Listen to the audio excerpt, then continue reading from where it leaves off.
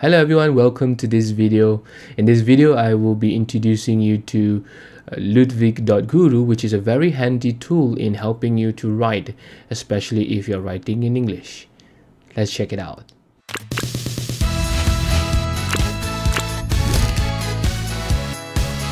So this is the main page of Ludwig.guru. As you can see here, it's very minimalistic, nothing really fancy. And the link is ludwig.guru, not .com why it's called Ludwig. It's uh, inspired by the greatest philosopher of 20th century called uh, Ludwig Wittgenstein, who wrote several books, including uh, Tractatus. Uh, in one of the lines that he wrote was, "The limit of my language means the limit of my world."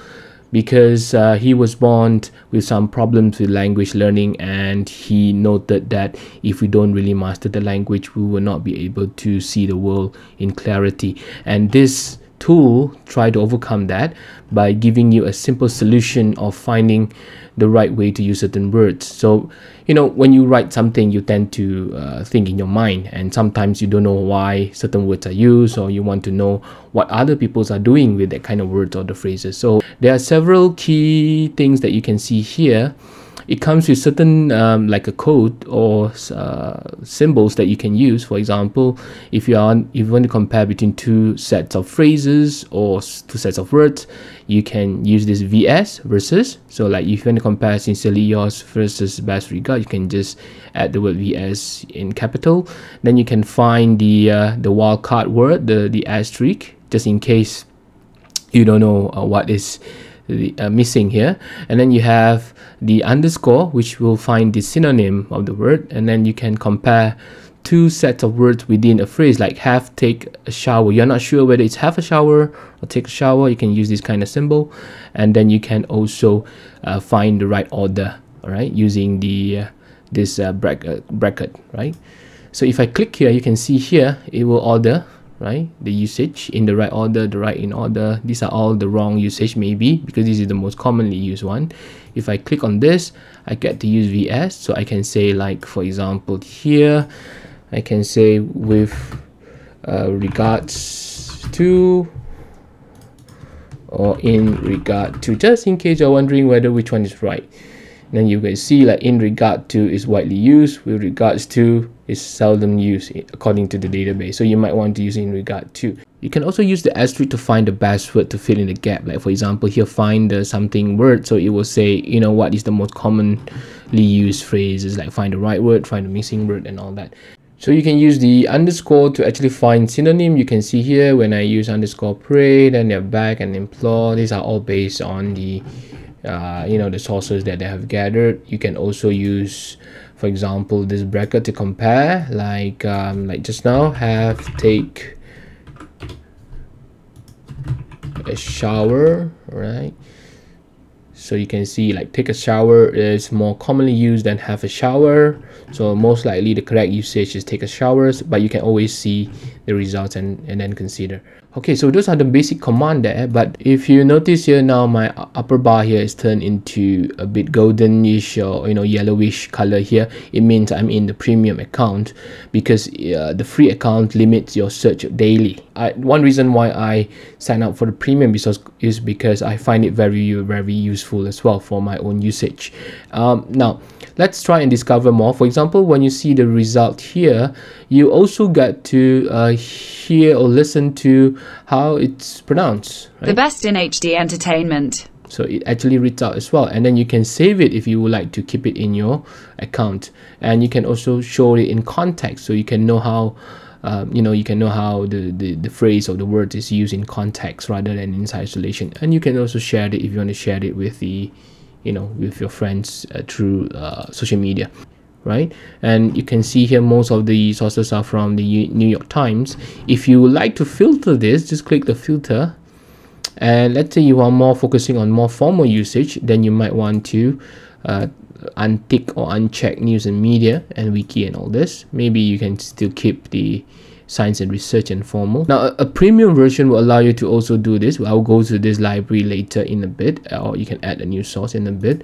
But basically, you can filter the sources uh, as you like. You can also find idioms or expression or proverbs like part and parcel and thingy, and then it will try to explain you. If you find the definition, it will give you the definition as well and you can see this uh, kind of uh, re related words or phrases. As you can see here it, if it's idiom it will also tell you that it's an idiom. Okay so very useful if you're talking about writing and you are not sure how to use certain words or if you need some inspiration on what to do with your uh, writing this is very very useful. It also helps you to paraphrase because you can see what other ways of writing or using that phrase or uh, expression right? Now let's go to the library this is a premium version. Uh, I just added one here. You can add your own collection here. In this case I'm adding like for example gamification related articles.